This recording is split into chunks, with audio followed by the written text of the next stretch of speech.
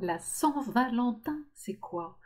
Ça se fête le 13 février. J'ai découvert ça il y a peu et évidemment, c'est réservé à celles qui n'ont pas de Valentin encore. Alors, pour ma part, ce n'est plus le cas puisque j'ai un Valentin depuis 5 ans. Et mon bonheur, eh bien, c'est que toi aussi qui regardes cette vidéo, si tu as vraiment envie d'avoir un Valentin dans ta vie, eh bien, ce rêve puisse se réaliser. Je suis Marie-Christine Eustache, je suis coach, consultante, mentor, praticienne en reprogrammation émotionnelle du subconscient pour t'accompagner justement à te préparer à devenir magnétique pour cet homme dont tu rêves.